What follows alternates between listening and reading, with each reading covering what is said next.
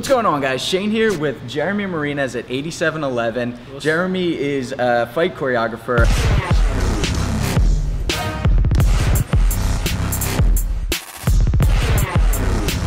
We're going to be talking about fighting multiple opponents. You may be thinking, well, he's a choreographer. It's all fake. It's not real. It's true, but there's also a lot of concepts. And if you think about it, he's dealing with this stuff a lot more than most MMA fighters are. It's a one on one fight. You have no shirt gloves, there's a ref, and there's rules. We're talking about a street fight. We're going to be introducing some new concepts to you guys. Yes, taking MMA moves, the clinch, boxing footwork, taekwondo kicks, but are also going to be incorporating some Krav Maga, some parkour. Going to be using a lot of the shirts and jackets. So we're going to be showing you the clinch. Um, tell us a little bit about yourself and your experience.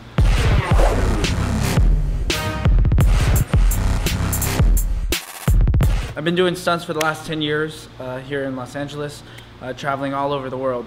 And as a choreographer slash fight coordinator, um, environment and spatial awareness is, is a big, big part of my job because sometimes we're fighting in apartments, sometimes we're fighting in an alley, sometimes we're fighting on a plane in zero gravity. Uh, if you haven't seen Triple X yet, that's uh, one of the last films I worked on. I got to, uh, a chance to work with Donnie Yen and uh, double Tony Jaa as well. Um, so check that out if you haven't seen it. But if you watch all these movies, um, the biggest thing is you never know where you're going to be next. They're fighting in traffic. They're fighting random right, places. So. Right, which is true to a street fight. You never know when or where you're going to get in a street fight. But the whole idea here is use your surroundings and also be aware of opponents and things that are around you. Are you fighting on loose gravel? Are you fighting on a wet ground? Is there a curb behind you that you could trip on? These are the kind of things that you need to get in the right frame of mind you know, at all times because most attackers try to catch you off guard. You never know when it's going to happen. So the first thing we're going to talk about is spatial awareness. So that it's just that concept, you know, it may be better to have a wall behind you, not directly behind you because you want to have an escape route, but also people can't sneak up behind you. Remember that in a street fight, escaping with your life is winning the fight. Drop your ego. You, you know, you don't got to win via knockout or submission because it's making sure that you can go home to your family that night. The other thing is, um, besides spatial awareness, we talked about range control.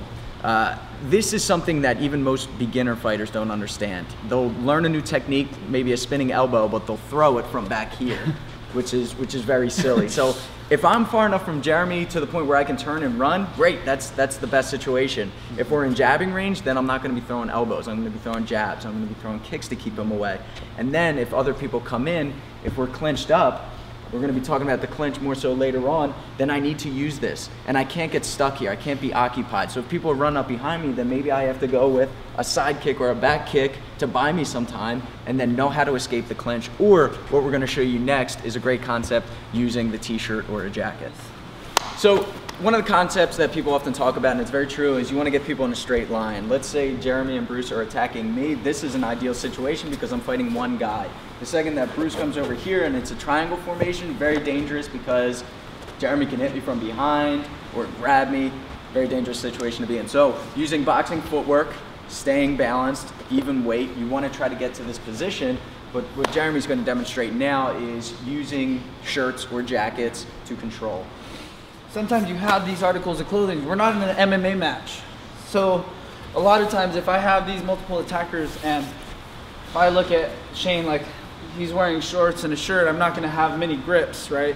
If we're going back to like judo or any type of throwing combative uh, sport, you have all this articles of clothing to play with and it's not gonna be as clean as in the movies where you use it. But if I if I pull this shirt over it's going to be disorienting for him. And I can almost use this as a dog leash. And, and see the way I'm gripping? The more I struggle this way, those are really annoying in the face. As disorienting as I can, I get him off, I get him in between us. So if he starts trying to punch, even if he, he throws clean shots, even if he throws clean shots, it's gonna be hard. Because I have this control on him. Um, Another concept that you were showing earlier too that I definitely want to share is uh, kicking to the ankles, to the shins, to the knees, and also when he's going to punch, that's a great time to redirect him and uh, take him off balance. Could you demonstrate that as well? Yes, of course. So, so in, in this situation here, you you always have the knee. I love going for the knee. If it's a life and death situation, especially if it's multiple attackers, I go for the knee, sometimes off the side of the knee. But there's also kicking really low is a lot more effective than just Charlie horsing somebody. But you can if you need it, if that's there.